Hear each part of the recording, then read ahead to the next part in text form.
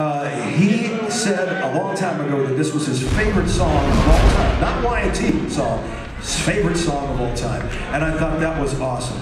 And I wish he were here to hear us play this, but uh, maybe he's hearing it out there somewhere in the ethers. This is uh, called Come In From the Rain.